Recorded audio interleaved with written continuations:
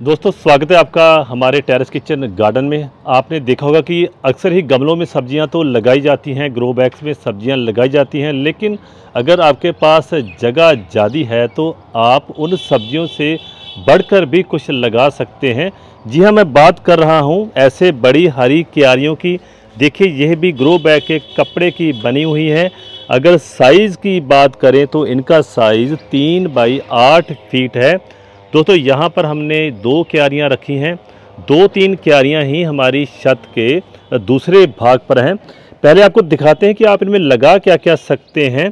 दोस्तों, उससे पहले बात करेंगे कि आपने इनकी तैयारी कैसे करनी है कि छत पर सीलन ना आए और ना ही ज़्यादा वज़न हो। क्योंकि देखिए, बड़ी क्यारियाँ हैं ज़्यादा मिट्टी इनमें आएगी, ज़्यादा वज़न होगा, ऐसी मन में बात आ जाती है। लेकिन ऐसी बात नहीं है। सबसे पहले जहाँ पर हमने क्यारियाँ रखी हैं, आप देख सकते हैं कि हमने नीचे तारकोल का लेप करवा रखा है। फिर आप देख सकते हैं दोस्तों, देखिए यहाँ पर नीचे थर्माकोल है। हमने इन क्यारियों को थर्माकोल के ऊपर रखा है। हमने दोस्तों, कह सकते हैं कि हमने दोहरा प्रबंध किया है जिससे कि सीलन छत के नीचे ना जाए। इसके बाद दोस्तों जैसे मैंने साइज़ बताया था, तीन बाई आठ फीट इसकी लंबाई चौड़ाई है, जो इसकी ऊंचाई है वो सात से आठ इंच के करीब है हमारे पास। और यहाँ आप देख सकते हैं कि हमने ऐसे पाइप्स दोस्तों लगाकर आपको क्यारियाँ विद पाइप भी मिल जाएँगी और पाइप्स के बगैर भी मिल जाएँगी। आप बिजली वाले पाइप लेकर इनको असेंबल कर सकते हैं। इसकी भी डिटेल्ड वीडियो है, जो कि आप हमारे इसी चैनल पर देख सकते हैं। देखिए, आपको बता दिया कि हमने इन क्यारियों को रखा कैसे है कि इन पर सीलन नहीं आएगी। अब बताते हैं कि हमने इनको भरा कैसे है। हमने इन क्यारियों को लगभग दोस्तों तीन इंच के करीब सूखे पत्तों से भर दिया था। इनके ऊपर हमने सूखे पत्ते बिछा दिए थे। इसके ऊपर फिर ही हमने इसमें मिट्टी डाली है। आप बढ़िया सा पॉटिंग मिक्स तैयार कर लेंगे। 50 परसेंट मिट्टी 30 परसेंट कोकोपीट जहाँ सूखे पत्ते मिट्टी को दोस्तों ये भुरभुरा बना देते हैं।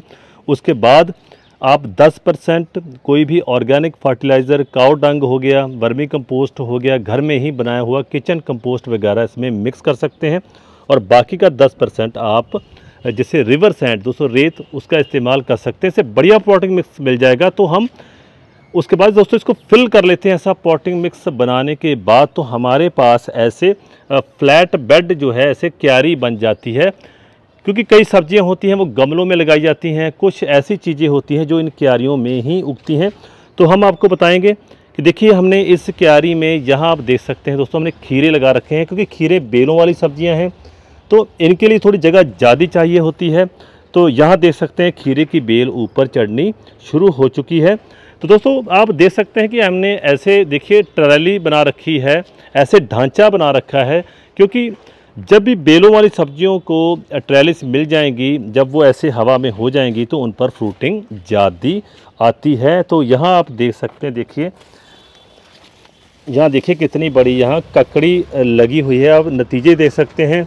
क्योंकि ये जो दोस्तों हमारी, जो यहाँ वाली सारी क्यारी है, यहाँ पर हमने ककड़ी की बेलें ही लगा रखी हैं, क्योंकि इस प्रकार दोस्तों गमलों में हम मिर्ची वगैरह तो लगा सकते हैं या और चीज़ें लगा सकते हैं, लेकिन अगर आपने बेलों वाली सब्ज़ियाँ जैसे ककड़ी वगैरह या खीरे वगैरह लगाने हो तो उनके लिए ऐसी क्यारियाँ ही बेस्ट रहती हैं।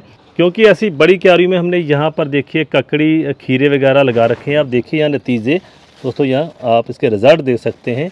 यहाँ हमने खीरे की एक दो वैरायटीज़ लगाई हैं। एक खीरा हमारे पास यहाँ भी लगा है, जिसको सीडलेस खीरा भी कहा जाता है। अब दोस्तों, आपको बताते हैं कि केवल हमने ये दो चीज़ें ही इन क्यारियों में नहीं लगाई। आप यहाँ देख सकते हैं कि हमने फलियों वाली सब्ज़ियाँ भी इसमें लगा रखी हैं। तो यहाँ दोस्तों, आप नज़र घुमा के देखेंगे, आपको दिखेगा कि हमने यहाँ पर खूब सारी ऐसी क्यारियाँ रखी हैं। ये वाली हमारी क्यारियाँ तीन बाई आठ फीट की ही हैं। तो यहाँ देखिए हमने प्याज लगा रखे हैं। अगर गमलों में प्याज लगाएँ तो बहुत कम लगेंगे, लेकिन क्यारियों में प्याज देखिए भरपूर मात्रा में लग जाते हैं और हो जाते हैं। अगर आप इतनी बड़ी क्यारियाँ नहीं रखना चाहते तो आप ऐसे छोटी छोटी क्यारियाँ देखिए डेढ़ बाई छः फीट की ये क्यारी है, ये भी हमारे पास है।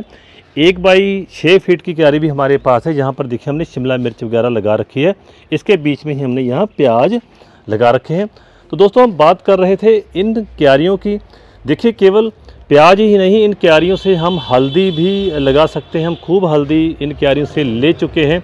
इसी प्रकार यहाँ आप देख सकते हैं कि हमने वाटर मेलन वगैरह भी इसी क्यारी में लगा रखे हैं। देखिए, हमने सबसे पहले किया क्या कि इसके नीचे हमने हल्दी लगा दी है। हल्दी को निकलने में अभी दो तीन महीने लगेंगे तो इसके ऊपर हमने वाटर मेलन वगैरह लगा दिया है। जब वाटर मेलन लगकर ख़त्म हो जाएँगे तो नीचे से हल्दी अपने आप ही निकलनी शुरू हो जाएगी। दोस्तों, इसी प्रकार इन क्यारियों में आप अपने घर पर ही दालें वगैरह भी लगा सकते हैं और भी ऐसी जो सब्ज़ियाँ हैं, वो इनमें लगा सकते हैं। बाकी आपको वज़न के बारे में भी बता दिया तो ऐसी कोई बात नहीं है कि इनका वज़न छत पर ज़्यादा हो जाएगा।